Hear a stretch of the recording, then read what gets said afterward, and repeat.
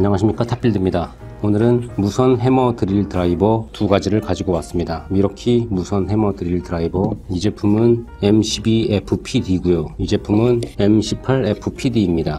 M12FPD 같은 경우는 신제품이고요. 아직까지 신제품이고요. 이 제품은 M18FPD인데요. M18FPD2가 나왔습니다. 그래서 이 제품은 신제품이 아니고요. 구제품이 되었습니다. 먼저 M12FPD의 재원을 보시겠습니다. 최대 토크는 44Nm입니다. 아무래도 12V 제품이니까 토크가 많이 떨어지고요. 무브화 속도는 1700rpm입니다. 전압은 12V, 전장은 168mm입니다. 속도는 1단과 2단으로 조절할 수 있고요. 모드는 토크를 조정할 수 있는 클러치 모드가 있고 일반 드릴 모드와 석재 타공을 할 수 있는 해머 드릴 모드가 있습니다. 이 제품에서 석재를 타공하는 해머 드릴 기능이 빠진 제품의 모델명은 M12FDD입니다. 석재를 타공하는 기능이 필요 없으신 분은 M12FDD를 구매하시면 되고 석재를 타공하는 기능이 들어있는 제품을 구매하시고 싶으면 M12FPD를 구매하시면 됩니다. 이 제품의 무게는 1kg가 살짝 넘습니다. 6A 배터리를 끼우면 약 1.5kg 정도 됩니다. 척은 금속 재질로 되어 있고요. 만듦새가 굉장히 튼튼하게 만들어진 것 같습니다. 그리고 LED 조명이 여기 부착이 되어 있고요. 정회전, 역회전을 할 수 있는 레버가 여기 있습니다. 속도 조절은 아까 말씀드린 대로 이 위에서 1단과 2단으로 조절할 수 있고요.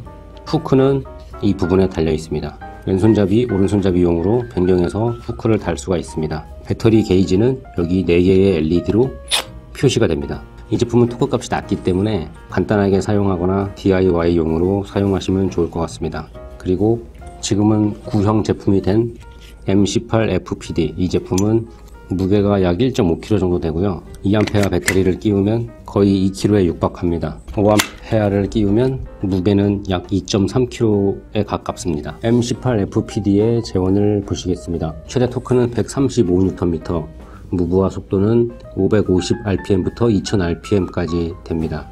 속도 조절은 1단과 2단, 2단으로 조절을 할 수 있고 물릴 수 있는 척 사이즈는 13mm입니다. 이 척은 메탈 척이면서 keyless 척입니다. 해머 드릴 모드로 사용했을 때의 타격수는 32,000bpm입니다. 작업 능력은 콘크리트와 철제 모두 13mm까지고요. 목재는 45mm까지입니다. 전압은 18V를 사용하고 이 전장은 197mm입니다. LED 조명은 똑같은 위치에 달려 있고요. 그리고 12V 제품 같은 경우는 배터리 게이지가 배터리에 없기 때문에 본체에 달려 있는데 18V 제품은 배터리 게이지가 이렇게 배터리에 장착이 되어 있기 때문에 별도의 배터리 게이지는 없습니다. 정회전과 역회전을 할 수 있는 레버가 여기 달려 있고요. 동일하게 후크를 장착하는 위치가 양쪽에 있습니다. 여기에 걸려면 이 비트를 끼우는 이 홀더를 제거하고 왼쪽에, 왼쪽에 끼울 수도 있고요. 왼쪽과 오른쪽에 후크를 끼울 수 있습니다. 속도 조절은 동일하게 요 위에서 1단, 2단 조절을 할 수 있고요. 24단까지 클러치 조정이 되고 드릴 모드와 클러치 모드, 해머 드릴 모드가 있습니다. 이 구형 제품은 최대 토크가 135Nm면서 RPM이 2000rpm인데요. 새로 나온 M18FPD2 이 제품의 특징을 잠시 말씀드리면 토크 값은 같습니다. 135Nm로 이 구형 제품 과 같고요. 속도 조절도 2단으로 같고 타격수도 32,000bpm으로 같습니다. 다만 작업 능력이 향상이 되었는데요. 콘크리트가 16mm, 철자가 13mm, 철제는 동일하네요.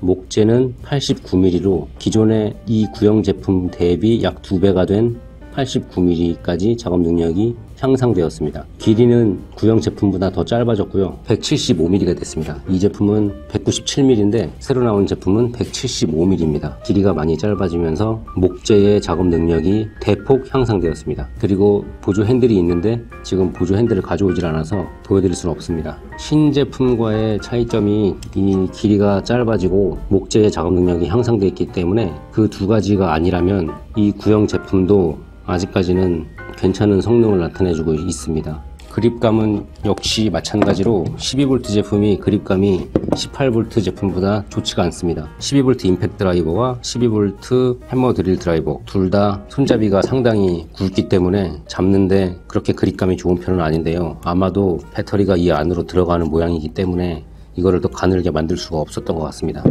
오히려 그립감은 이 18V 제품이 그립감은 더 우수합니다. 손이 작으신 분들은 이 12V를 사용하시는데 불편할 것으로 생각이 됩니다. 이상으로 리뷰를 마치겠고요. 도움이 되셨다면 구독과 좋아요 부탁드립니다. 궁금한 점이 있으신 분은 댓글을 남겨주시면 상세히 답변 드리도록 하겠습니다. 감사합니다.